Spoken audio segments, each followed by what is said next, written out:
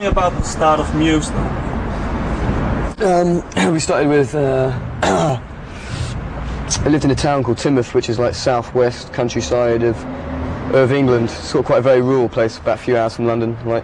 And um, it's quite. There's nothing really happening there. It's very boring, especially for kids around 13, 15. There's, you couldn't get into the bars, couldn't drink, and there was no nightlife. There's nothing to do really. So we used to just we used to you know drink a lot and stuff and do stuff like that down the seafront, you know. And it wasn't really, it wasn't very, very good. And I started hanging out with these girls who were like really hot, and like they were like um, they wanted to be witches, you know. And um, and I thought I might have been on something because I thought it was a load of bullshit, you know. Because at the time I was doing all this Ouija board stuff with my mum, and I was thinking, so I was, I was, I was involved with that. I don't believe that now, but at the time I think when I met these girls, I thought I thought it was a chance to get laid, you know.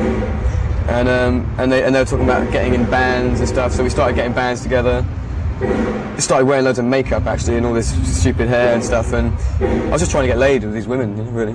But but that was sort of how it started we were in these different bands. Um, but then as we got to about the age of 16 most of the bands started splitting up and people started losing interest in that and um, me Dom and Chris formed a band called Rocket Baby Dolls. And um, and it's just the three of us and we only we formed that name just for one week to in order to first of all try and lose a, get these women you know what I mean? And they're like they, they dressed us up and stuff. We started hanging out with them and and it was starting to happen. And we were still wearing all this stuff from Rocket Baby Dolls, and we went into the competition, like a Battle of the Bands contest with all these other bands, and and uh, all the other bands were like really sort of funky, sort of pub rock, you know, and they were like older. So we went there just to take the piss out of it, really, and we sort of chucked our instruments around and, uh, and did all this sort of thing, and had these, we had all these women on stage naked and shit, and um, and we we did it all just to take the piss, you know. But we ended up winning, and when we won the competition, that sort of we suddenly thought actually maybe maybe we should do, do this more seriously. So we started we changed the name to Muse and sort of mellowed out a bit for a while.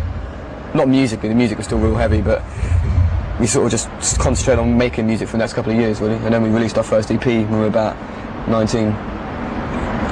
Could you explain the name change? Why? Um, the, the, we were called Rocket Baby Dolls because it was a Japanese porn film we saw, and um, and we, we, saw it with these girls, and we were sort of all dressing up together, you know. And um, it's just like a.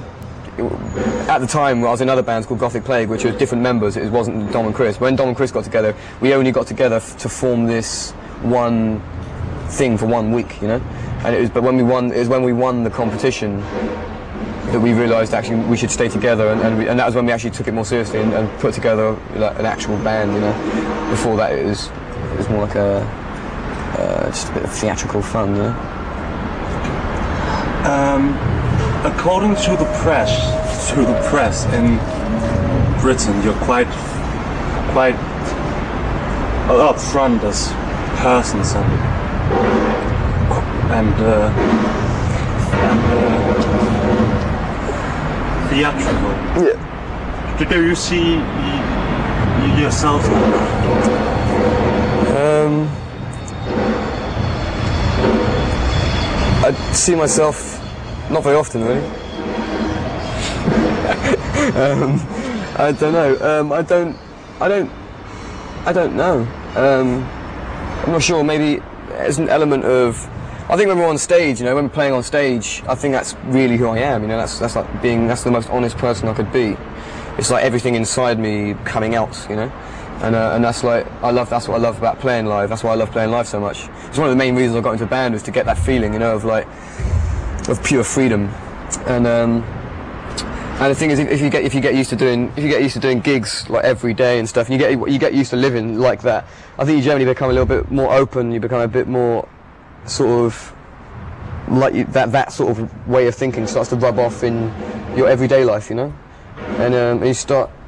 So I think it's probably something maybe maybe I'm not sure, I'm not sure about theatrical, but I don't, I don't think I don't think we're anything different to other people, you know. I think it's just the same as anyone else really, but just having a good time as much as possible, really, and. Um, well, on stage, on stage, it's, you're pushing yourself to your limits. You know, you're finding your own physical limits, finding out what notes I can sing, and how you know you're pushing yourself. So in that process, maybe you, you know you react in a way that's flamboyant. You know, I think that's just being on stage. You know. Um, and and the press again, they accuse you of like copying famous band called like um, Thom Yorke's band. um, yes, like you, you, you, um, you react to that. Um, I don't, don't, really, don't really mind too much. Um, I think I think that people, pe- everyone's entitled to their own opinion. You know, everyone says what they want. I think that's what makes the world interesting. You know, some people love it, some people hate it, some people think you're fake, some people think you're the realest thing. You know, it's just different opinions, and I think that conflict is interesting. I'd, I'd rather that than everything, everyone being the same. You know, so I think everyone can just, just everyone can say what they want, and I don't, you know, I'm interested whether it's good or bad. Um, could you describe your music? Um, I'd say it's like a combination of modern rock styles. You know, things like Rage Against the Machine to um, Queen.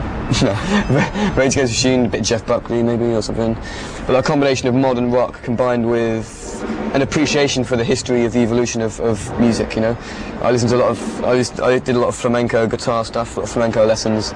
Not lessons, I mean flamenco learning um, Spanish guitar. That's like folk music. So some folk music from Europe, and like I, like, I listen to a bit, a bit of classical music as well. So that's what I mean when I say the history, the history of the evolution of different musics from European history, because European has has a great you know evolution of music over over hundreds of years.